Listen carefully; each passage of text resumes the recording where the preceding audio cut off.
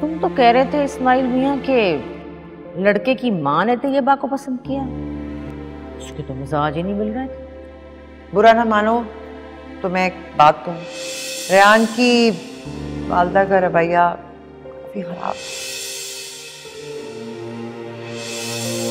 ज़रूर।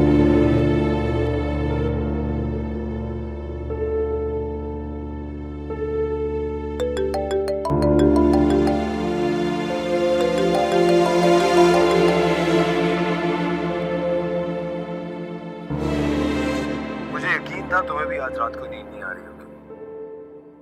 मुझे पाने की खुशी है ही इतनी बड़ी। एक बात सच से बताओ क्या तुम इस वक्त खुद को दुनिया की खुशकिस्मत तरीन लड़की नहीं समझ रही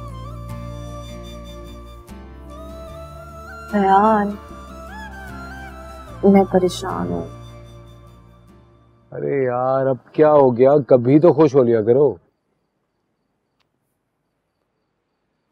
आज हमारी ज़िंदगी का इतना इंपॉर्टेंट दिन है और तुम आज के दिन भी उदास हुई है। मैं मैं मिस्तानी की वजह से परेशान हूँ। क्यों? उनकी वजह से क्यों? क्योंकि क्योंकि तुमने कहा था कि वो हमारे रिश्ते से राज़ी है। लेकिन उनको तो देख के ऐसा लगा कि वो बिल्कुल भी खुश नहीं है। तो ये तो मैं तुम्हें पहले भी बता चुका हूँ। उन्होंने हाँ मेरी जिद की वजह से किया वरना वो तुम्हें अपनी बहू बनाने के लिए राज़ी नहीं थी। अच्छा।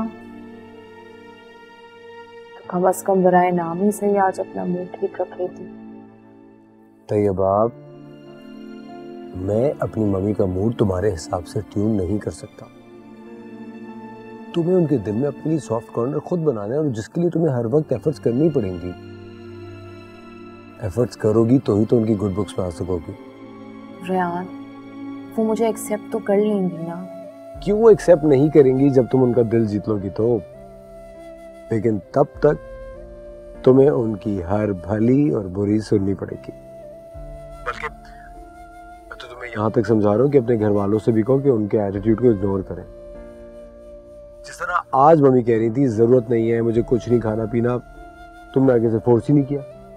अरे तुम एक दो दफ़ा फोर्स करती हैं प्यार से कुछ ना कुछ वो ले ही लेती नहीं नहीं नहीं। सुनो इतने सारे लोग बैठे हुए थे। मुझे समझ ही नहीं आया कि मैं क्या करूँ। इट्स ओके आई अंडरस्टैंड बस इतना कह रहा हूँ कि तुम ये एफर्ट्स बंद मत करना। क्योंकि तुम हो ही इतनी प्यारी। आज नहीं तो कल मम्मी तुम्हारी बात मान ही जाएँगी। तुम सच कह रहे हो। हम्म। मेरी बात पे यकीन नहीं है? तुम्हारी तो हर बात में मैं आँखें बंद करके भरोसा कर सकती हूँ। तो बस अब सिर्फ़ अच्छी अच्छी बातें सोचो क्योंकि मैं कह रहा हूँ। ठीक है। अल्लाह हाफिज।